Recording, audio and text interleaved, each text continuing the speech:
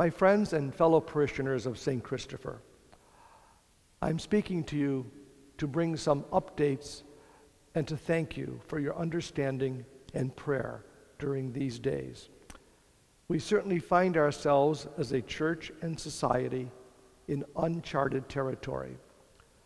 The seminary certainly did not prepare priests to deal with these kinds of challenges. That being said, our diocese, as well as government officials, have done their best to communicate some direction for us to take.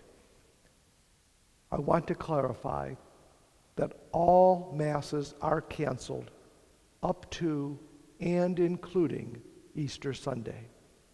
This includes all Holy Week services.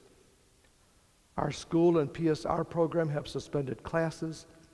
CYO has canceled all practices and games during this time. All other activities and events here at the parish have been canceled as well. I feel as though I've been laid off from my job. During this time, we are thoroughly cleaning all of our buildings, and they will remain closed. This includes our church building, which is being cleaned thoroughly and will also remain closed. We are also working on being able to video and provide for you the Sunday Mass online. This is something we have been hoping to do, and this chain of events is giving us the opportunity to hopefully make it happen.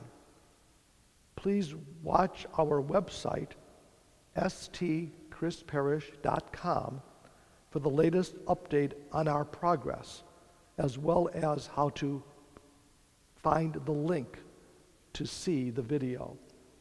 We will also email or by way of constant contact, send information to all of our parishioners whose addresses we have. The parish office will be open, although the hours may be flexible at times.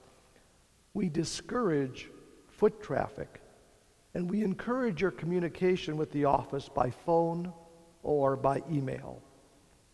We will do our best to respond in a timely manner in the event of an emergency, such as a request for an anointing for someone who is near death, or to report a death and arrange for a funeral, please call the parish office 440 331 4255 and follow the prompts for the emergency line.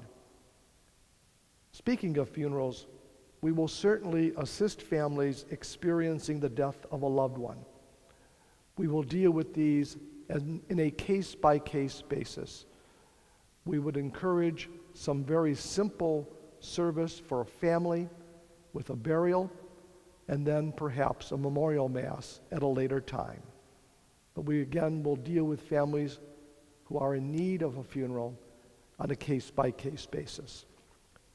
Again, I thank you for your patience and understanding during these most unusual days in the life of the church and in the life of our society. May we continue to pray for one another. And may God bless us.